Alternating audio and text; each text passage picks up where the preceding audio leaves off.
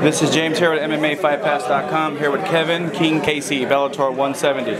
Kevin, I'm just gonna talk out. I'm gonna talk out as a fan. I am a jiu-jitsu practitioner myself, and when I read about you and found out, and watched your history, and found out you were pretty much basically raised with the Gracies, it, it was just incredible. It's something that we study about. It's something that we go and train and try to learn all the moves and all the secrets. And here you are, your best friend. Is, you know, you're just part of the you're part of the Gracies, like the family. Can you I talk about that a little feel, bit? I feel blessed, you know, at, at, at my position in the universe. You know, these, these, you know, the Gracie family. These were people who were just my friends growing up.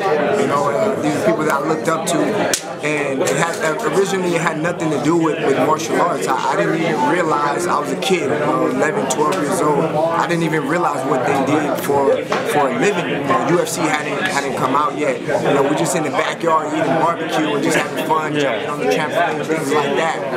And then to see the uh, the UFC come about, and you know, to start watching some MMA videos, Vale Tudo original videos from Brazil. I mean, this was this was something that hadn't even been done in the states, and so I, I saw some of the ground workings and how everything got built up. I remember when they were talking about the design for the cage, and gonna, it's going to be an octagon and things like that. And you're just watch- sitting there in the living room just listening. kid, just a kid, and then you know to watch to watch some of Royce Gracie's uh, first training camp with Rickson, and uh, you know then to see Rickson fighting, to ultimately have almost like a, a, a inside view, an inside uh, ear of what were what was to come.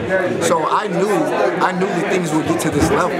You know, I, I didn't know if it would happen in, in, in, the time that I would be able to compete, but I knew that it would get to this level because I, I saw the masterminds at work. Yes, you did. Well, that's great. That's really great. Another touch base on the boxing.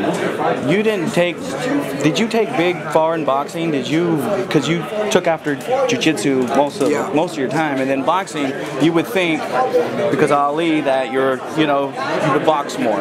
And most of all your fights are are groundwork. I love it. I see you when you're fighting in the cage. It's in the.